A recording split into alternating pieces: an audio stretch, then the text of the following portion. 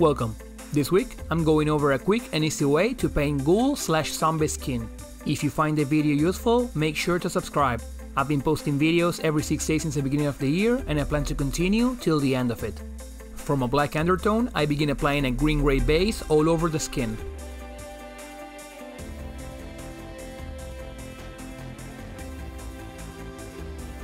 I thin my paint with a bit of water and once the first coat is dry, I apply a second one. This way I make sure not to clog any details.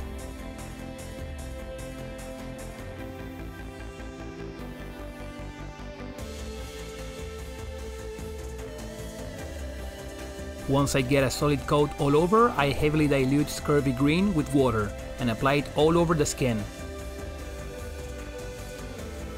You can use a wash for this step or normal acrylics diluted with water as I do here.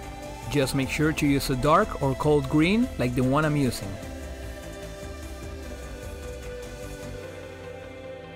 Once dry, I begin to highlight all the raised areas with the previous green-gray, leaving the deeper recesses as they are. You can dry brush this step, but you might lose contrast on the parts where the recesses are not too deep. So it's up to you to choose between speed and results.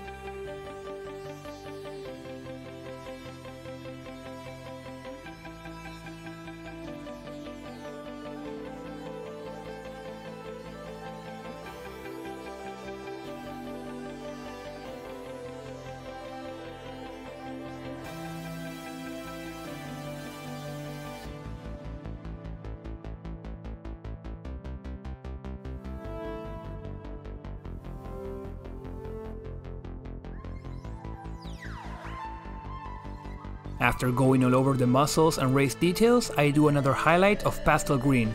Is applied within the previously highlighted areas, letting some of the green-gray show.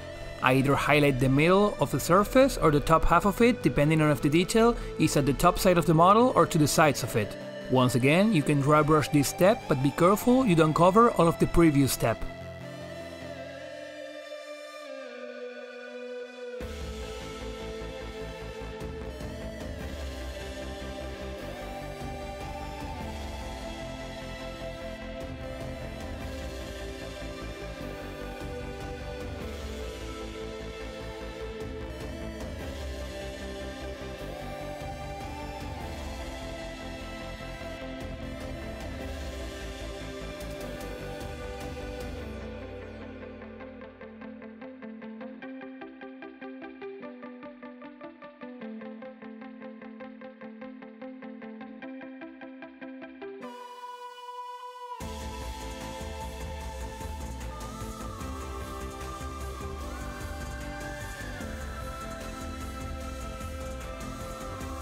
Once finished, this will create three noticeable color differences, which we will be blending together with heavily diluted green-gray.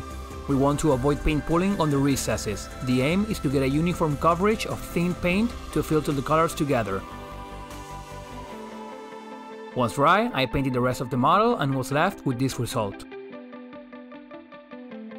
I hope you found this week's short video useful, and as always, make sure to leave any questions or suggestions in the comments.